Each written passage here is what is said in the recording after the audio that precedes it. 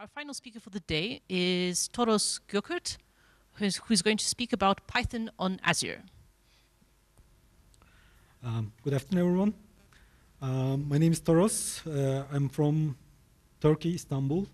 Uh, I'm cloud solution architect in Microsoft. Uh, I'm working in Middle East and Africa, uh, working with partners who are developing or deploying applications into the cloud. Um, I have been working with open source tools, developing software for more than 15 years. And uh, I have been working in different industries like from telco, developing a um, custom, custom Linux uh, distribution or developing uh, game applications in the cloud and multi multiplayer games. And I have been in different uh, areas, industries. Um, so today um, I'm here to talk about uh, Python on Azure, the Microsoft solutions for partner uh, for Python. Um, so my agenda is introduction, and I will make a demo or maybe two, and I will share some resources. Um, so let me start. So why, why is Microsoft talking about Python? Um, actually, this is the common question when we go and talk about Linux or when we go and talk about PostgreSQL or any open source. And the question is same, why is Microsoft talking about X? So uh, today's topic is Python.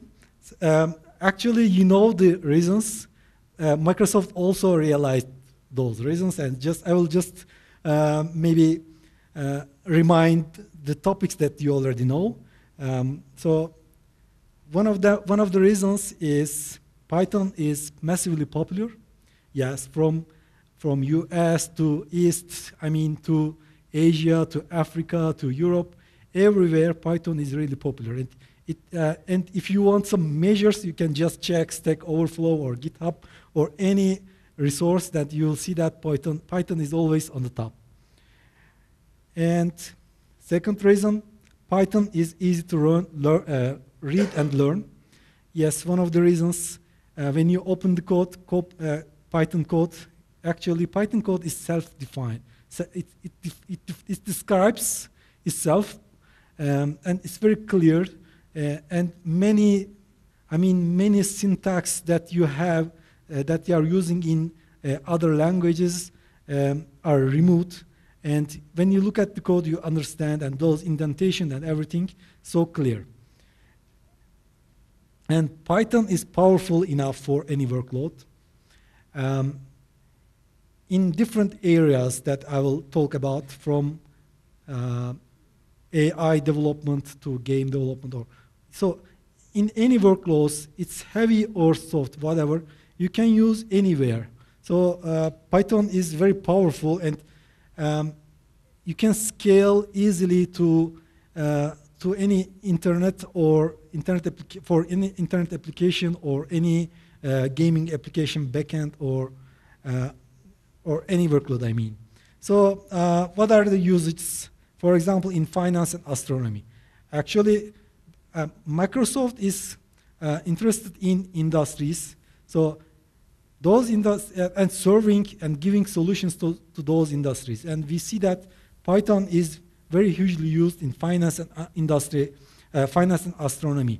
So Microsoft believes that um, Microsoft should engage uh, such such topics uh, in these industries, and also in of course in automation and web.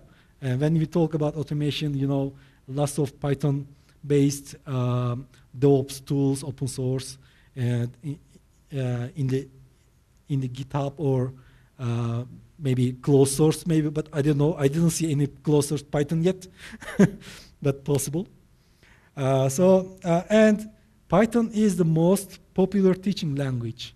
Uh, in, in US, uh, based on the statistics, Python is the uh, most popular uh, teaching language in the universities.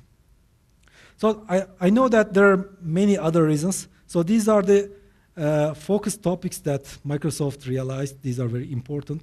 So uh, we, we need to be in, in, in, in this programming language and in this community and uh, in this area. So um, you want Python, and we want to offer Python, and how? So Microsoft believes that um, we, we, we, we need to develop, and we developed, an application platform. And this application platform is open and, uh, and, and provides compre comprehensive solution for uh, any developer, any platform, and uh, any language, actually. So uh, when we talk about this flexibility, uh, first, we need to make it open. Um, so we need to we need to uh, provide provide support for multiple languages, frameworks, um, and databases, and many tools. Uh, and another thing is we we we want to make our application platform very productive. Uh, what do we mean by productive? So you need to develop fast. You need to uh, go to production fast. So uh, we, we are making our, uh, making our uh, platform, application platform, um, faster and productive every day uh, and improving day by day. And also we want our platform to be reachable uh, from everywhere. It can be hybrid, it can be on cloud, or it can be multi-cloud. So uh, this is this is uh, the, uh, the couple of, a couple of solutions, open source solutions that you can deploy and use on Microsoft. Uh, we know that open source is not just these solutions, but uh, we put these in different categories uh, just to see that what can we do, what can we deploy in Microsoft Azure. So um, DevOps, management, applications, and frameworks, and tools, and databases. We, there, there's a lot of uh, solutions that you can use in Microsoft. From infrastructure, you can deploy uh, many kinds of Linux distributions and even the enterprise types like SUSE and Red Hat, or if you want to go with the uh, community ones like Ubuntu or uh, CentOS, yeah, th th if you want to choose that way, of course you can go. And so this is the this is the message that uh, Microsoft brings here. Uh, Azure Cloud for All.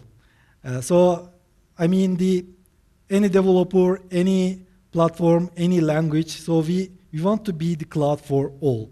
So, and we want to provide, and we want to make uh, ourselves differentiate, uh, differentiate uh, in, in such pillars like productivity, hybrid, intelligent, and trusted.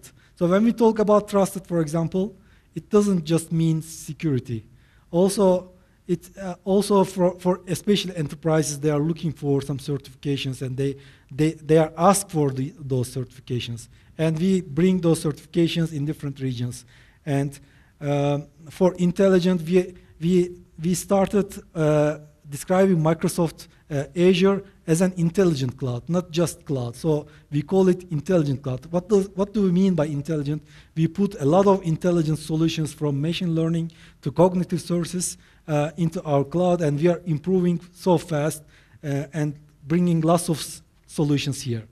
So hybrid, we have Azure Stack, so you can deploy on premises and in, uh, in cloud, and you can extend your cloud to your on-premises environment and productivity with our end-to-end solutions from development to production. We have lots of solutions that I will cover later.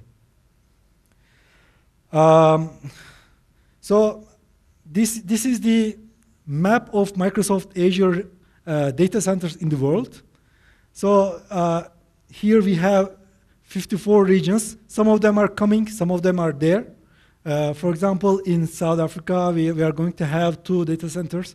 Um, in Johannesburg and in Cape Town in December. Uh, so um, I think it's going to be a huge move. Uh, I hope uh, we are going to have another region in Turkey, so we are missing this so much. So it's very important because, uh, I mean, from ping times to deployment times to maybe even for pricing and everything uh, uh, differentiates when you have a region there, right? So uh, being close to the data center is very important. But uh, the, the idea in the cloud is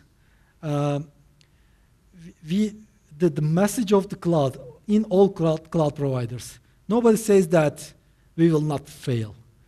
The idea, the, the, main, uh, the main focus on cloud is resiliency for, uh, for failures. So we have lots of regions. So if you can deploy your application in one region and you can also uh, deploy your application again in another region and you can be you can make a failover environment. So if re something really happen uh, in a region, you can uh, move to another region and continue your, business. So this is very important. So uh, we, of course, we try to make uh, our data centers highly available and uh, we design them not to fail, but you cannot uh, know what will happen. An earthquake, a tsunami, or whatever can happen in a region. So um, though all those regions are to provide uh, high availability and resiliency. Of course, if the, if the world is not destroyed totally. yeah. yeah. And so this is a mass, messy slide. Yeah, so uh, actually, uh, in Azure, we have more than 100 services. So this is the summary. um, so I'm not going to talk about all the services today, just to show that uh, we have lots of services in different areas, from developer services to uh, application platform to intelligence, hybrid cloud, compute, and uh, they're all on top of infrastructure services like compute, storage, and networking. So actually the cloud started with this story, like storage, compute, and networking, and then on top of that, uh, based on the requirements, we start building other services. So um, I, am going to talk about these other services directly related to Python now. First of all, uh, we have a Python SDK. Um, so you can use this Python SDK for uh, two purposes, two main purposes. Uh, one of them is you can manage your Azure services using this Python SDK. Uh, so you can uh, put it in your Python application and you can create a cloud service and you can or destroy it or you can manage, make configuration and you can write your own cloud management code by yourself using this SDK. Or uh, using this SDK also you can uh, communicate with some other Azure services like database services, right? So when you uh, import this uh, library in your application and uh, and it, it, brings you an easier way to communicate uh, the services like database services easily in your application rather than calling the HT, making the HTTP API calls to the to the uh, Azure endpoint because normally the cloud services are uh, working like HTTP services. So so uh, without these SDKs, you have to the process is like you first get the token to access the services, and then you use this token and again make requests to different services and get responses. So it's not easy to manage. So you know, in any API environment, we always try to build an uh, SDK and use that SDK in our application. So this is already built for your application. And second, um, developer services and tools. Um, in, in, in, uh, this is not just Microsoft services, also the, this is about tools. Uh, so for example, Visual Studio and Visual Studio Code. Visual Studio Code is open source, and uh, I, was, I was using Atom before vi uh, Visual Studio Code, and before that I was using Sublime. I don't know, how many of you have used Sublime here? Still using? Yeah? okay, so I, I really recommend VS Code. It's uh, it's really, it has really cool features and um, very uh, good development in that. And also we, in Visual Studio, even Visual Studio Community Edition you can use for Python development. And uh, you can use Azure CLI uh, to, uh, to communicate with Azure. And in dev you can also use um, Azure SDK to communicate with Azure DevOps services. Uh, we were calling those like VSTS, and it was a weird name, really, Visual Studio Team Services. And so luckily they changed the name and made it Azure DevOps Services. So it, there's a couple of services under it, uh, continuous integration and continuous deployment.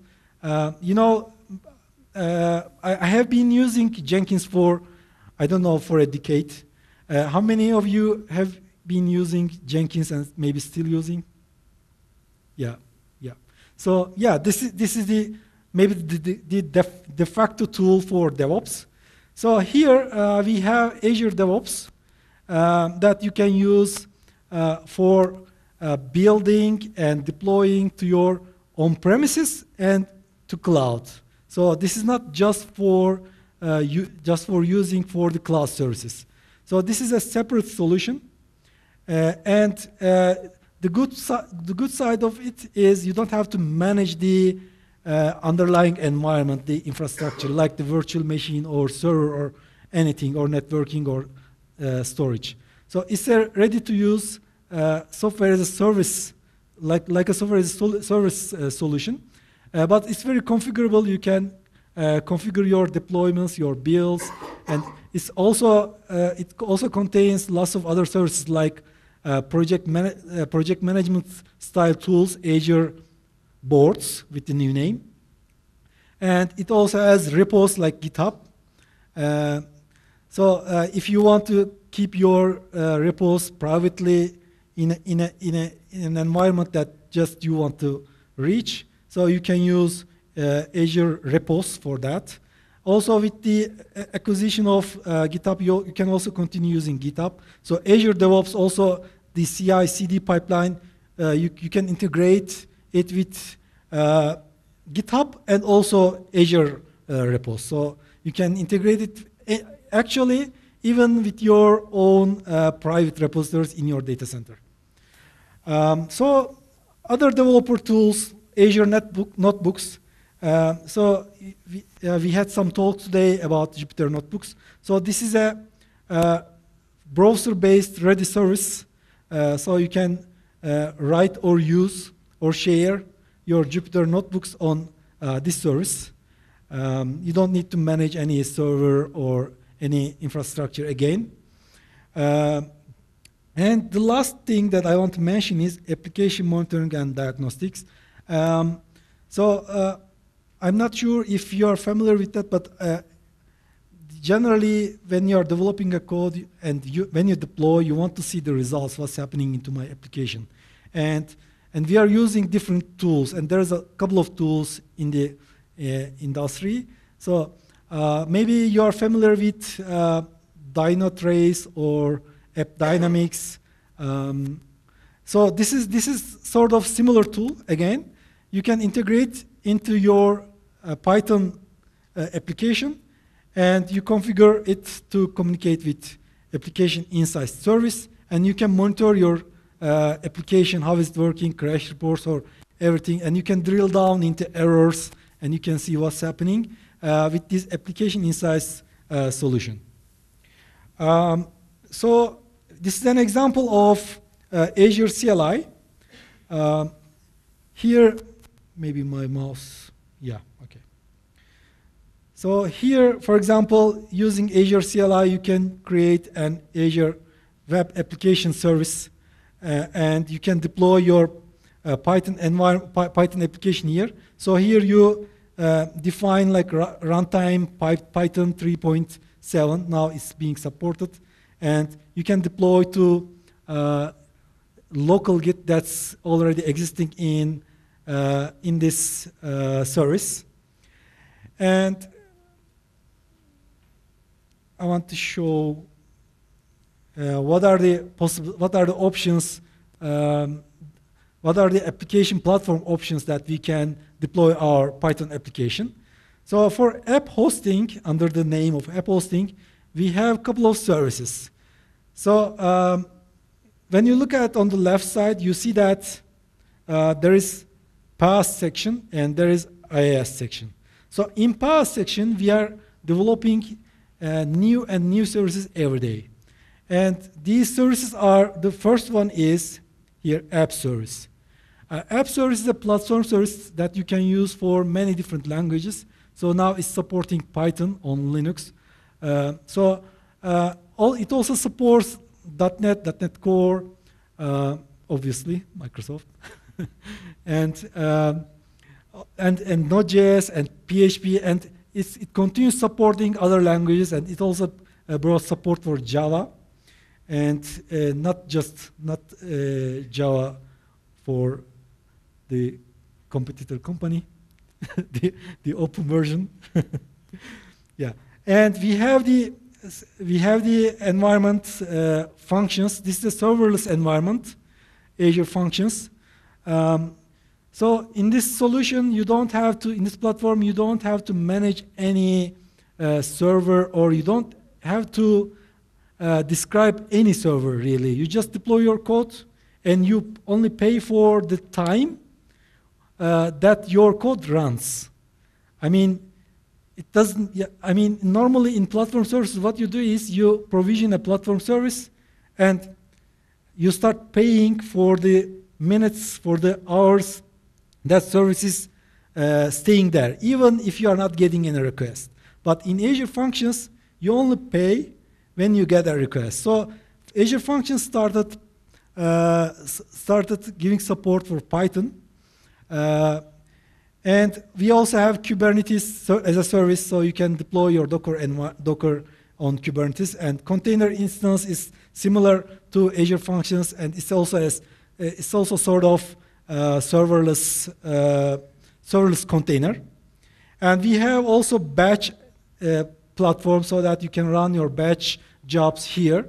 and it also supports Python and obviously Linux VMs if you just want to use and, pro and provision a virtual machine and put your application and you want to manage everything, of course you can use the virtual machines again. So this is an example in the Azure portal. Uh, how many of you uh, are using Azure or have used? Okay, maybe uh, for, for the people who haven't used maybe this, uh, this slide doesn't make sense. So just shows that we, have, we are supporting Python 3.5, uh, 3.7 now uh, in the app, app service. Uh, other areas that we support Python is AI and machine learning. Uh, so uh, we categorize Microsoft's uh, AI into two uh, into two uh, topics. One of them is machine learning. The other one is cognitive services. In machine learning, you can define your own models and everything. So you can use Python here, or you can use cognitive services. These are ready-to-use services like uh, computer vision or text analytics. I mean, you send your, for, for example, you send a photo and it gives you the, uh, it gives you information about who is in that photo, uh, or it gives you information about the emotions of the, of a face in that photo. So it gives you some probabilistic uh, results, so you can identify the emotion from that. And so there are some integration services here uh, that you can use in your uh, Python application with SDKs. So you can keep your uh, passwords and uh, and some secrets in Key Vault so that when you are deploying to a production environment, uh, your code can get the uh, related keys or secrets from there. So you so your you don't have to.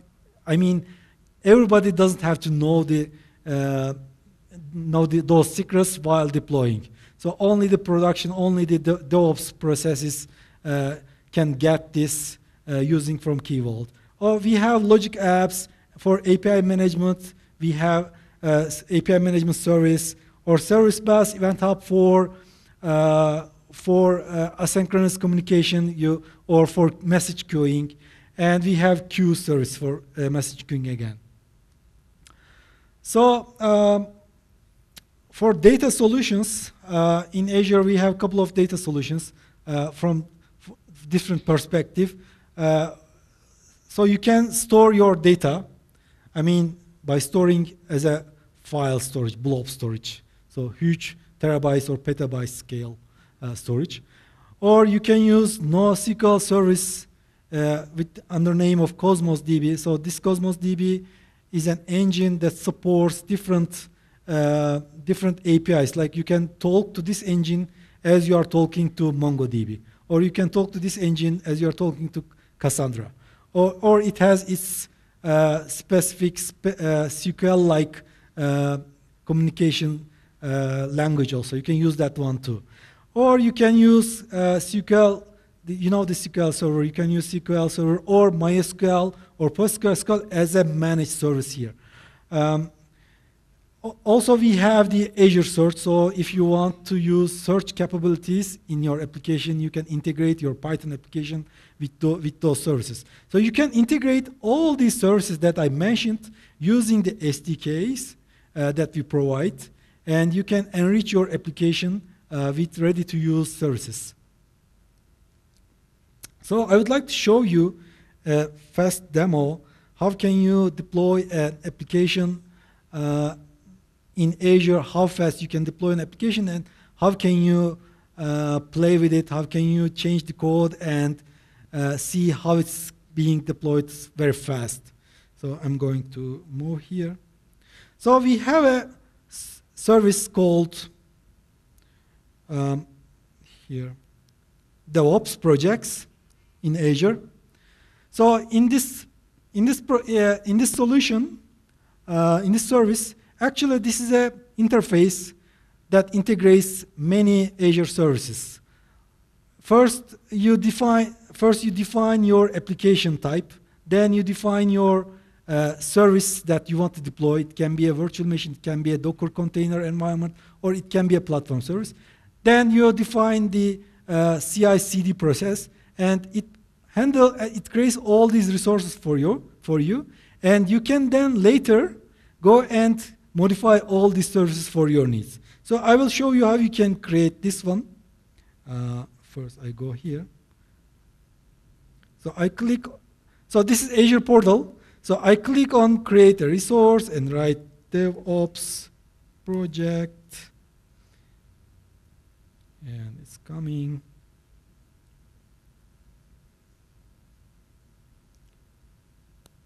So what am I going to do is I'm going to create a Python Django application and deploy it into a service and I will edit it and see how it's how the CI/CD process is happening.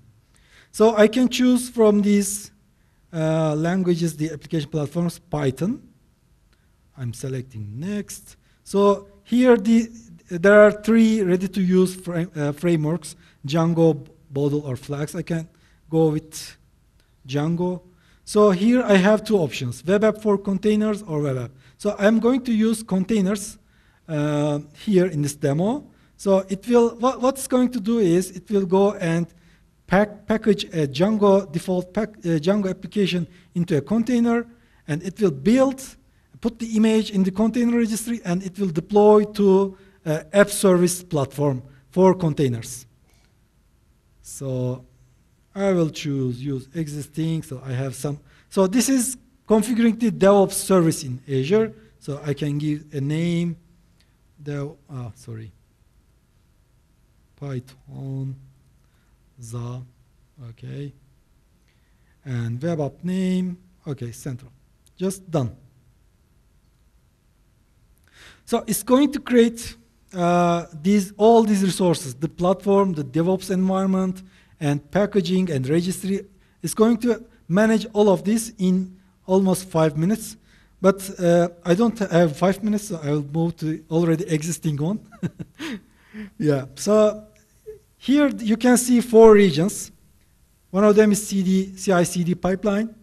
The other one is Azure resources, application insights, and repository.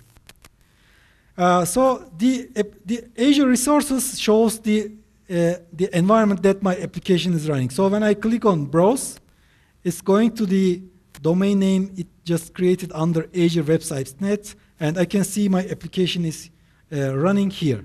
So it, uh, it gives a successful uh, comment here. So what I want to do is I want to make a change in my application and I want to see the release pipeline, how, what's happening, in which stage is it.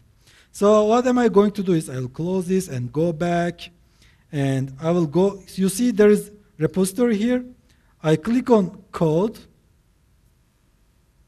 and go to my files. So here on the left-hand side, you, you see the Azure DevOps services. There's a couple of services, boards, repos, pipelines, and test plans. So in repos, I'm going to see my files in, um, in GitHub repo. So I will go here and in my Python application. So here you see there's a Docker file. So I will go in app and in static. I'm going to change the main page. So where is it? Oh, sorry. Yeah. So I'm going to change the index page and I will write. So I'm changing this code directly from the repo, but don't do that in production. so what am I going to do is I will change Python. So no, PyCon is great. So I will commit this directly from here to master. Don't do this at home. And don't write such comments, updated, meaningless comments. So I'm just doing this for demo purposes. Okay, I committed it. So I want to see what's happening. I'm going back to here and putting a refresh here. So here you see there's the comment is here, updated. So let me focus if you don't see. Updated index HTML. So build is in progress here. And I want to see what's happening in the build. So when I click on it, I'm going to the build process in the Azure DevOps service. So waiting for running jobs to finish. So it's happening. And by the time it's going, I will move and show you. Mm, okay. Sorry. Yeah. So it's going to show me the logs, what's happening here. So actually it's going to show the steps uh, while it's building the Docker file. In the Docker file, we can see that uh, when I go to code, so sorry, I'm going to source code. So in the Docker file here, you see that it's building the application step by step, and each on each line there are like apt get, update, and install. So it's, it's uh, installing the services re required for Python, and then creating the environment, the directories, and installing SSH and putting the password root docker. So you saw my password now. so, so just for demo. And so hopefully we will see the logs here a little bit slow. Maybe I can show the already existing ones. Um,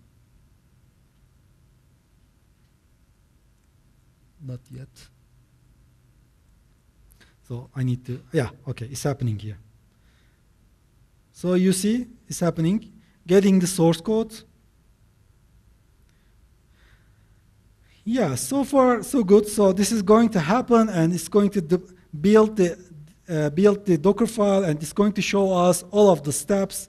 And so here you are seeing the steps: initialize agent, initialize job. So the agent means the hosted agent in uh, Azure DevOps. Uh, so this you don't have to deploy any virtual machine to build this. So it's going to uh, check out the uh, source code and building it and applying all of these steps you see. And then it's going to push the image here and build artifact and it's going to deploy the application. At the end, again, in three or two minutes, we will see the successful comment will change here.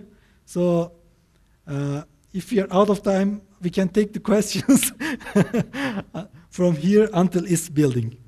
Okay, so we have time for a few questions. If you have a question, please put up your hand and wait until the mic gets to you before you start talking. Uh, questions? Anyone? Anyone? I have some vouchers for Azure to give away to people who ask good questions or any questions at all. Anyone? Anyone? Come on, yes!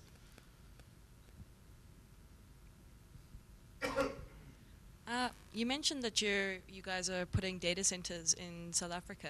Yeah. Um, is that because you see a, um, this economy is particularly growing in tech, and what's the what's the nature of the reason behind that? Yeah, actually, there, yeah, there, there, there isn't one reason. There are many reasons. Yeah, uh, so one part of this reason is yes, the business part. The grow, econ- the economy is growing, new opportunities are coming, uh, but there are other reasons too. We are we are also growing. So I believe that cloud should cover all over the world. Uh, it should be everywhere that people that people can reach out. So you can easily deploy your applications, develop your applications. So why why we we in South Africa or in I don't know Dubai or in India or anywhere we be uh, be far away from the uh, origin from the data centers and uh, why we stay behind the other part of the world. So actually this is the result to bring uh, bring technology and cloud and everything to everywhere. I mean, it's the same, uh, the same message uh, that we are giving. Any developer, any platform, uh, any language. So cloud for all. I mean, cloud for South Africa, cloud for Asia, Europe, and everywhere. Okay, next question, back there. Uh,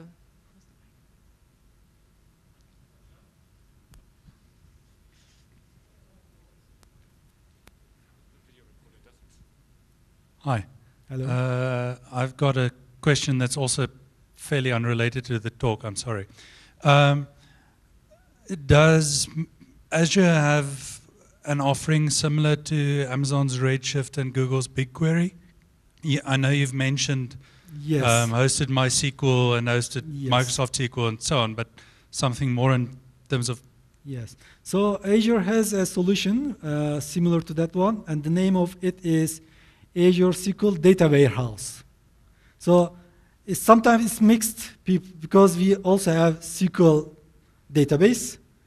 Uh, this is al- this is also uh, when you're talking with this so- solution, you're like talking to SQL Server, but it has a different engine and it's a columnar uh, database. So it's, the name is SQL Data Warehouse.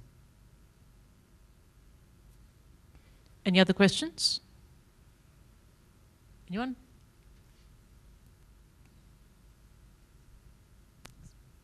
Um, there was a recent announcement about Project xCloud, a gaming service that Microsoft is releasing. Is there going to be special integration with Azure so that game developers can build it straight in the right in? Sorry, do everything in the same place? Uh, so um, actually, I don't have information about that. Okay. Uh, but uh, if it's related to, I mean, if it's related to backend so, so solution, so we, we are putting, so we can uh, divide the solutions into uh, two parts, like the client-side solutions and the server-side, the, the uh, cloud-side solutions. So when we are talking about cloud, we are we are growing in in terms of uh, solutions I already mentioned. But also on the client side, we are also providing SDKs and tools, and so um, uh, if I would like to show uh, an example how we can uh, develop an application in Visual Studio or Visual Studio Code as we are developing in any other uh, environment. So we are also providing solutions for the clients and even for game developers and uh, or any other uh, desktop developers. But we we continue growing in the backend from the cloud side too. Any other questions?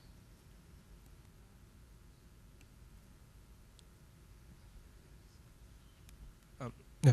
Hello. It's, yes, it's not really Azure related, but it's uh, Microsoft and Python. So I want to know. Um, I think there was chat last year, some year ago, about like uh, Python in Excel. Is there any like news, any update on that, like as an official Uh, scripting language? I didn't get any update, but I know that news too. I'm I'm I'm also waiting for that too, uh, because I want to. So Excel is very powerful. I mean, you can use it for different purposes, and just in front of you uh, as a as an end end user. So uh, it will be a good, uh, good contribution putting Python in it so that, uh, you know, I, I was talking about the value of Python in the world. Lo- there are lots of developers and not just developers, many people using Python and learning at schools. I think it will be a good contribution, but I don't have the uh, time, the, the ETA for uh, adding that support into Excel.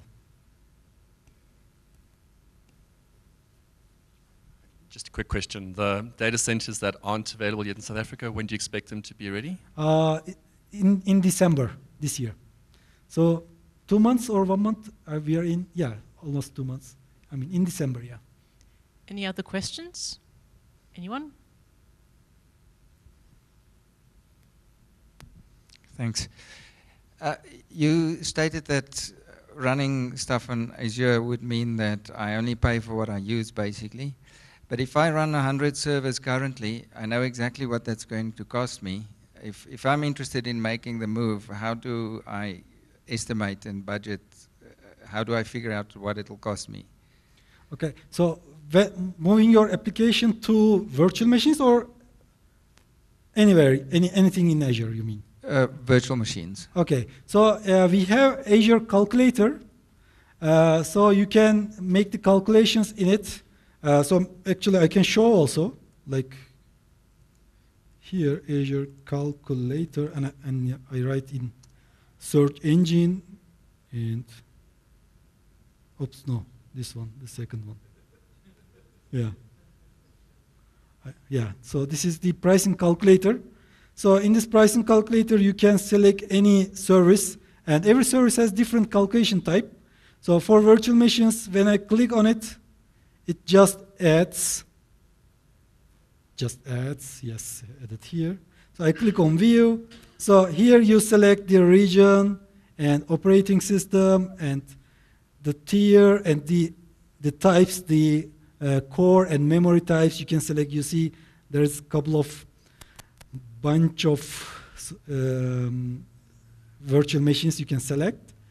Uh, they call it SKUs. And you can also select the billing option, pay as you go, one year resort, like classical uh, renting style. And, and at the end, you'll get the price here.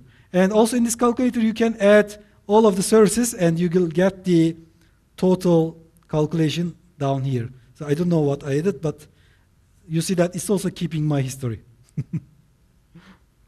Is, was it answer to your question? Yeah. Any other questions? Anyone? Um, sorry, uh, how often would uh, Microsoft change or Azure change the pricing? Because I think sometime this month or so, or last month, um, it was increased by 20% or so. Um, there Azure. isn't there isn't a concrete number for the days. I mean, Yeah. so it's not like in three months or in six months. So it's happening. Uh, maybe maybe it's also depends depending on the market, also depending on the technology inno- innovation of the hardware or growing in the world. So it depends on a lot of things. I mean, so uh, we don't have a concrete number in this month. It's happening. Any other questions? I- I just wanted to clarify on that one. Sorry. Um, that price increase that we had was local, um, that you were referring to, and uh, it was to protect the um, local partners that we have because we had a situation where when when partners come directly to Microsoft, it was more expensive than going through partners. Uh, uh, sorry, it was cheaper than going through partners. So we do protect the local uh, partner economy as well through that. Other questions?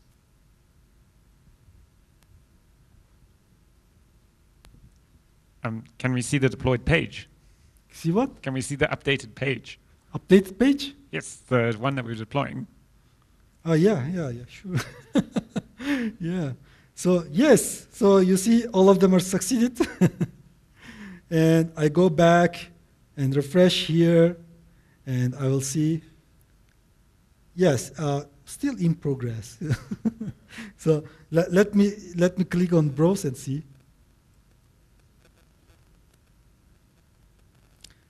Yeah, so uh, build is successful, but still deploying to, to container. Yeah, but I will I will check that time to time. I think we have time for one more question.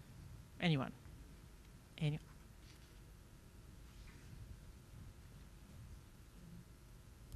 Uh, thanks. Um, I see um, Azure is very nicely integrated with uh, GitHub, the repository, um, repo management. Um, obviously, Microsoft bought GitHub. Um, do you are you privy to any plans that Microsoft has for GitHub, or are they just going to let it run, or um, are they going to? Yeah, so the plan is actually uh, we making more integrations with Azure. So it's already happening. So for example, but it's it's bringing more uh, more advantage to the community. So without changing the community site, I mean the open source vision, uh, without changing it, but bringing more value to that part. For example, Microsoft brought uh, li- unlimited free builds for open source project on GitHub. So in, in the past, you were using different uh, build solutions for open source project. Even sometimes you have to pay. But now, if your solution on GitHub is open source, you have uh, unlimited uh, build environment, build agents on Azure. So we, we are trying to bring more value to the open source rather than closing down things. Yeah. Okay, I think that's all that we have time for. Thank you very much again, Yeah. Toros. Thank you. Thank you for listening.